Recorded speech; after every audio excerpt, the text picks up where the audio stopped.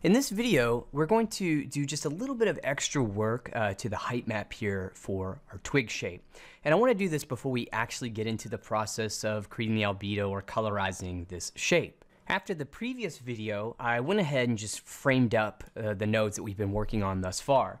So for example, here you can see that we have the nodes that make up the albedo here for our ground, and I've just grouped those uh, with a frame called ground.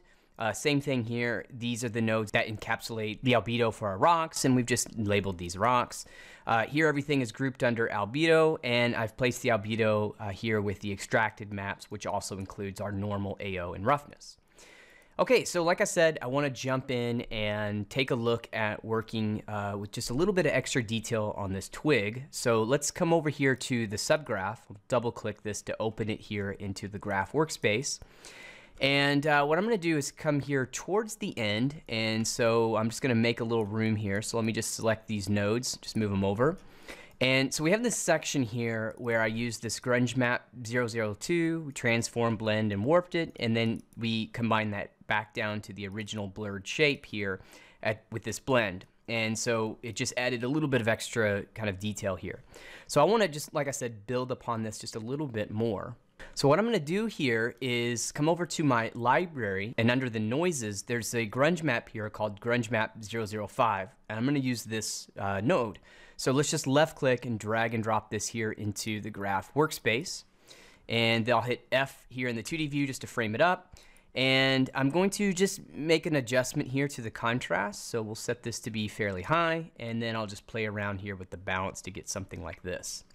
So I like to use this grunge map 005 when I'm working on wood patterns and you can see that this starts to give us some shapes that, you know, well, we could use this to, uh, you know, help us to start to build out some bark or we could also use it to uh, introduce some like cracks here in wood. A way that I'm going to further augment this is to just hit my space bar and add the transform 2D node here. And I'm just going to uh, take the result of this grunge, plug it here into the transform. Now I'm going to tile this uh, horizontally. So if I hold down the control key and left mouse click and drag on one of these widget nodes, I can uniformly scale or tile this noise here on this horizontal axis. Okay, so now that we've done this, you can see when I zoom in, this does really help to build up this wood pattern type shape. And using this kind of setup here is pretty good, like I said, whenever you're working on wood.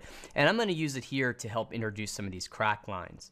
So right now we have some of these wavy lines here and uh, they're all flowing in this vertical direction. So what I wanna do is I wanna warp or conform them to this underlying shape that we have here.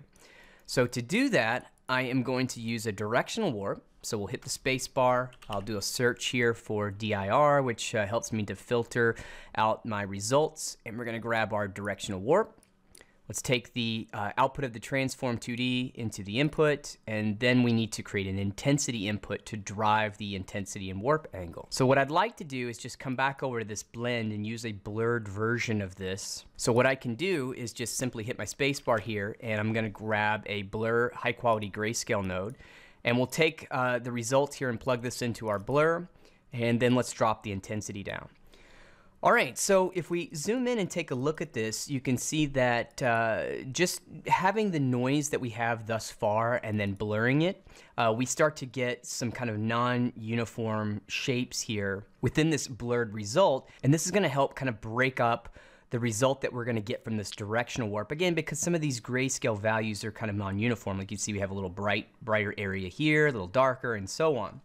Now, if you recall, if we look back here in our graph, I did already have a blur high quality grayscale and I could just use this. But if we take a look, you can see that this is more of just a uniform blur like this. And so yes, it will work, uh, but it's not gonna break up the warp as interesting as these kind of non-uniform shapes would do. So that's why I'm using a secondary blur here. Now, speaking of non-uniform, we actually have a non-uniform blur node, and I'm going to show you how that works now. So let's hit the space bar. We'll do a search for non here. Uh, and you can see that that filters out this non-uniform blur grayscale. So let's left click to create a, a, copy of this node here, or an instance of this node, I should say. And we're going to take the result of this blend and plug that into the grayscale. Now this node takes a blur map as an input. So you know, you could use any type of intensity uh, or any type of grayscale input for this blur map. But what I'm going to do is take the result here of this warp. So let's take the output of this warp and plug it here into the blur map input. So we'll double click the uniform, the non-uniform blur. We have a lot more parameters than we did uh, just using the regular blur high quality. So let's just lower this intensity value down. And you can see here, if I zoom in really close, we're starting to get some just different breakup.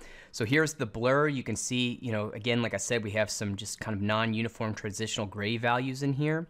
Uh, with the non-uniform blur, uh, you can see that we get even more kind of detail within this. And we can control that by just playing around with things like our intensity, uh, anisotropy, uh, also our asymmetry, uh, we can adjust the angle and you know adjust the samples and the blades and so on. So we can get a lot of different uh, information here. So here uh, I'm just going to increase that intensity a little bit more, and I'm going to try to use this non-uniform blur instead of uh, just the regular blur. So for this regular blur high quality, let's just delete this guy and let's use this non-uniform version. So let's take the result of this uh, this non-uniform blur, and we'll use this as the intensity input driver. Let's double click our directional warp and here you can see what this is doing here. It's just warping those lines and you can see that they're now warping and following along this intensity input that we have. And we can also start to play around with things like our warp angle and our intensity. So let's do something like, uh, you know, just kind of play around, see what we can get with this. It's a little hard to see what we're doing right now. Uh, I just wanted to keep it kind of in this very contrasted view so you could see, you know, pretty easily what this what this is actually doing. Okay, so we've now warped it. I actually really like what's happening here, so that's pretty cool. So now let's just integrate this down here into our node graph. So to do that, I'm just going to use another blend node. And we're going to take our directional warp here in the foreground. Let's take the result of our blend here in the background. And for the blending mode, I'm going to switch this to multiply. So now when we look at our shape, you can see that uh, now we're starting to get these crack lines here. And this is, this is actually pretty interesting. And you can see that uh, because the intensity input, which is derived from our basic shape and the noises, uh, these lines are, are following along some of these underlying patterns below it. That just helps the overall kind of conformity or blending of these lines versus the underlying shapes. And we get a little bit of extra kind of nuanced detail by using this non-uniform blur. So now we have this in place, what I'm gonna do is just, you know, fade this back here with my opacity.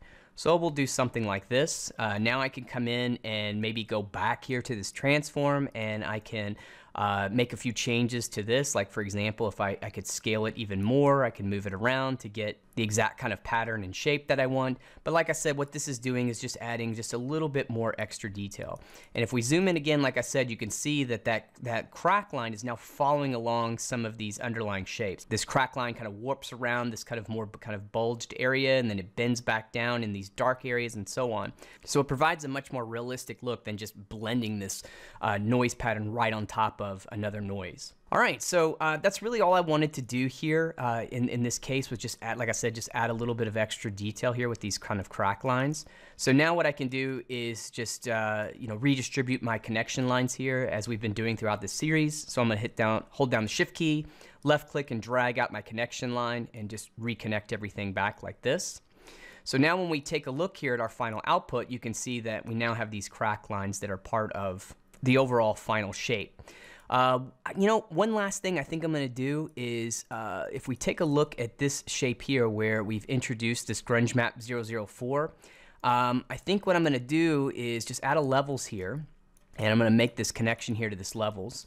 And then I'm going to take this input black and just adjust it a little bit. So you can see here that what I'm doing is uh, just kind of crunching some of these values a bit. And if I zoom in, uh, you can see that, you know, I get more of this kind of fall off effect and then this kind of really bright range right here around the edge, which is going to, again, in our height map, make it look like some of these shapes are kind of curling up on the edges and so on, uh, just intensifying that effect a little bit more.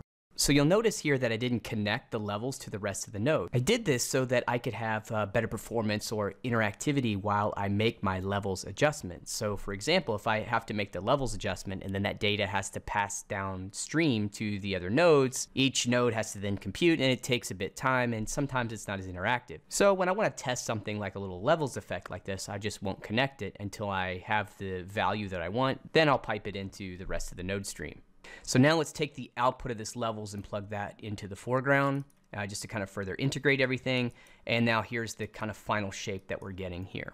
All right, so that's gonna close out this video. Like I said, I just wanted to add a little bit extra detail here to that height. In the next video, we're gonna create the albedo color uh, for all of the twig shapes in our material.